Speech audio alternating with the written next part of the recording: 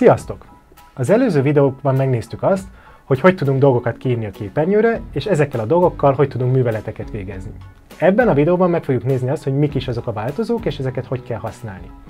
A változók arra jók, hogy a program valamilyen módon adatot tudjon tárolni. Erre nekünk szükségünk lehet sokszor, mert például amikor ebben a játékban megy a dino és fölugrik, akkor a programnak mindig tudnia kell, hogy éppen milyen magasan van, ezt valahogy neki meg kell jegyeznie, és az alapján tudja majd mindig kirakni a képernyőre, hogy épp itt van a dino, vagy épp itt van a dino, vagy épp itt van a dino.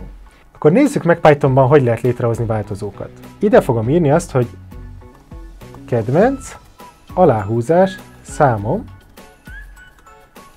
egyenlő 42. Ha megnézitek, itt sok furcsaság van, nézzük meg pontosan itt miket írtam.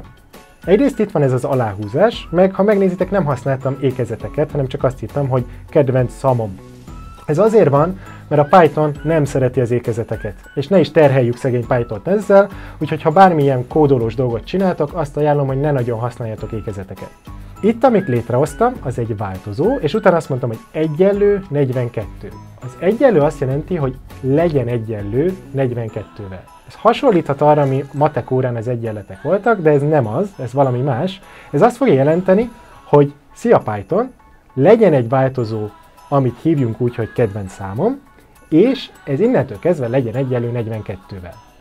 Próbáljuk ki és használjuk is. A következő sorban azt fogom mondani, hogy print, és zárójelek között kedvenc, aláhúzás, számom.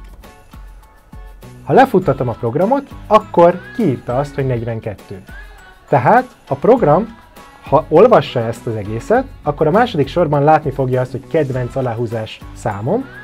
Ez számára azt jelenti, hogy hú, várjál, én erre emlékszem, az előző sorban azt mondtad nekem, hogy legyen ez a változó, és ez innentől kezdve legyen 42. Tehát az első sor azt jelenti, hogy ettől a sortól kezdve a kedvenc aláhúzás számom jelentse azt, hogy 42 a program számára. A változókat meg is lehet változtatni, ezért hívják őket változónak. A, például lehet az, hogy megváltozik a kedvenc számom. Ez a 42 elég király, de mondjuk mondjuk azt, hogy innentől kezdve a 8-at nagyon szeretem. Mondjuk azt, hogy kedvenc számom legyen egyenlő 8-al. Ha most a következő sorban kiírom azt, hogy print kedvenc számom, és lefuttatom a programot, akkor ha megnézitek, a második sor miatt először azt írta ki, hogy 42, de a negyedik sor miatt most azt írta ki, hogy 8. Tehát a változók meg tudnak változni, és ezek a sorok csak annyit jelentenek, hogy ettől a sortól kezdve a kedvenc számom azt jelenti, hogy. Tehát az első sortól kezdve a kedvenc számom azt jelenti, hogy 42, a harmadik sortól kezdve meg már azt jelenti, hogy 8. Ezért már a negyedik sorban 8-at fog kiírni a program. A változókkal műveleteket is lehet használni, amiket az előző videókban láttunk. Próbáljuk is ki. Például ha azt mondom, hogy print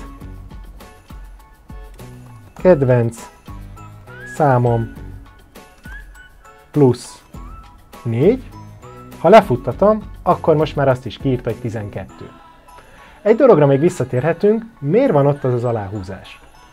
A változókat gondosan kell elnevezni, Egyrészt fontos, hogy úgy írjuk le őket, hogy ha elolvasom azt, hogy kedvenc számom, akkor rögtön értsem, hogy vajon mit akartam itt tárolni.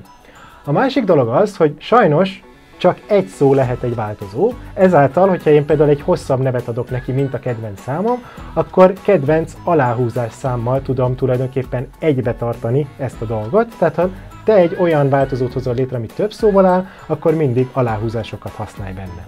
Nézzünk még példákat változókkal. Eddig számokkal csináltunk valamit, de ugyanúgy szövegeket is lehet változókban tárolni.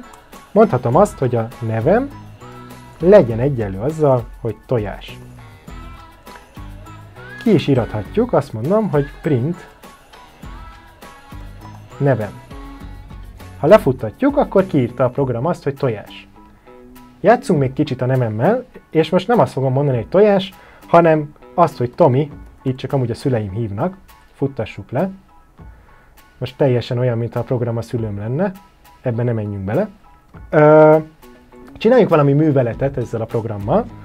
Most csak annyit ír ki, hogy Tomi, de a következő sorba a print elé és a nevem után azt fogom írni, hogy nevem legyen egyenlő nevem plusz.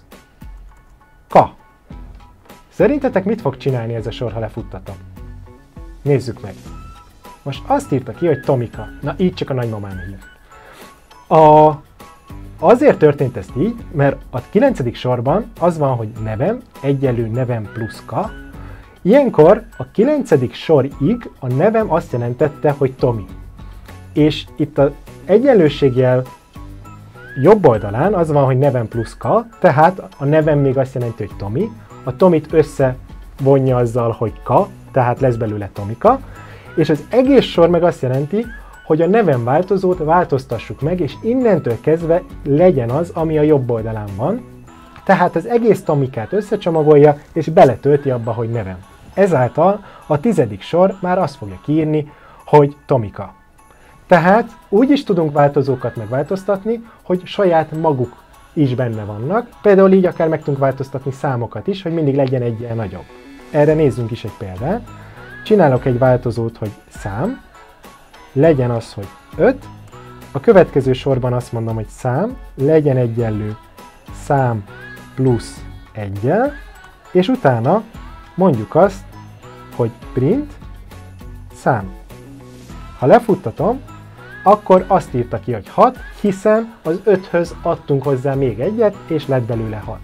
Ez nekünk nagyon fontos lesz a programunkban, mert például így tudjuk majd mindig egyel arrébb rakni a kaktuszt. Vagy így tudjuk majd egyel magasabbra ugorni a díjon. Értékeket nem csak így be tudunk írni, hanem be lehet kérdezni a képernyőről is. Nézzük meg, hogy ez hogyan működik. Azt mondom, hogy a nevem legyen egyenlő input, és zárójelek közé beírhatok egy szöveget, azt fogom mondani, hogy add meg a neved. Ha lefuttatom ezt a programot, ha megnézitek most mit írt ki, ide van írva, hogy add meg a neved, és utána villog egy téglalap. Na vajon miért villog az? Azért, mert oda be tudunk dolgokat írni. Én most beírhatom azt, hogy tojás, és nézi, ha megnézitek, más színnel is írja, és azt tudom mondani, hogy enter. Na vajon mit jelent ez az input? Az input angolul azt jelenti, hogy bemenet. Tehát itt a program valamit meg tud kapni a külvilágtól. A külvilág az ez a rész itt, ahova mi be tudunk dolgokat írni. Próbáljuk is, hogy tényleg meg is kapja ezt. A következő sorba beleírom azt, hogy print, és azt, hogy nevem. Ha újra futtatom a programot, akkor megint bekér valamit. Most beleírom, hogy tojás, és azt mondom, hogy Enter, akkor a következő sorba kiírta azt, amit én beadtam neki. Tehát ő kívülről is tud mindenféle adatot kapni tőlünk, és utána azzal tud kezdeni valamit. Itt is kezdjünk vele valamit, például lehetne az, hogy nekem szépen, illedelmesen köszön a számítógép, nem úgy, mint eddig. Mondjuk azt, hogy hello, vesző, szóköz plusz nevem, és a végére is, mert ugye ez össze fogja fűzni a hello-t a nevemmel, és lehetne felkiáltójel a végén, tehát még azt is fűzzük hozzá, plusz felkiáltójel. Tehát ha most lefuttatom ezt a programot, és beírom azt, hogy tojás, és enter, akkor köszön nekem, hogy hello tojás. Ah, de kedves! Ti is játszatok ezzel. Egyrészt csináljátok meg a programot, ami nektek köszön, vagy akár bárkinek, és próbáljátok ki, de utána csinálhattok egy olyan programot is, ami bekéri a kedvenc állatotokat, és utána azt az állatot kírja százszor. A következő videóban meg fogjuk nézni, hogy mik is azok a feltételek, ott találkozunk. Sziasztok!